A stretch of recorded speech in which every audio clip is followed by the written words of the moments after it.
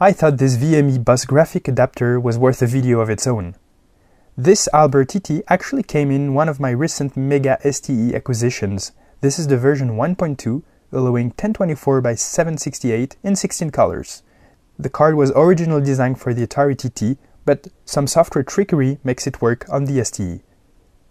The card is built around a Brooktree BT454 RAM DAC that had great resolution capabilities for the time.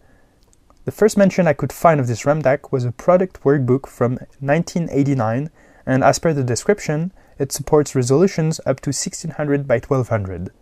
However, the AlberTT resolution is limited by the RAM size, a few bits short of 400 kilobytes. The first unusual thing about the card is obviously the connectors. First, the interface with the Atari is made through a VME bus, and then the VGA is on that D sub 9 port, not those 15 pin VGA we're used to. I originally thought it was an EGA or CGA pinout, but no, the whole row of 4 is grounded, so I had to guess. I assumed those three resistors would be the impedance adaptation for the three RGB colors, and that the two other pins were the horizontal and vertical sync. I had one chance out of two, and it worked. It was then time to build an ugly but functioning adapter. I salvaged a console port and a VGA port and wired them accordingly, then used some hot glue to pot them permanently. The result is this compact adapter,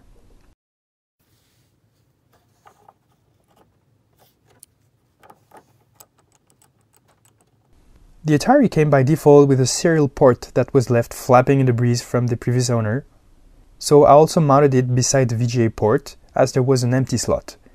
It just took some grinding and filing to get a notch for the ribbon. Once in place, I struggled to get anything out of it. Let me tell you, I'm glad it's not as complex nowadays.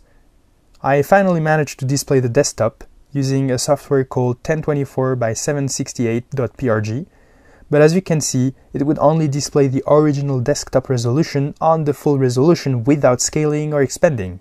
Only after a while I realized those two files needed to be placed in the outer folder so they could be loaded before the desktop was generated. From here, most production software were able to benefit from the new high resolution. Cubase was particularly impressive, yet refreshing a bit slower than the monochrome high-res with sometimes some artifacts. Overall, a great solution to hook up a modern display. Thanks for watching and see you for the next project!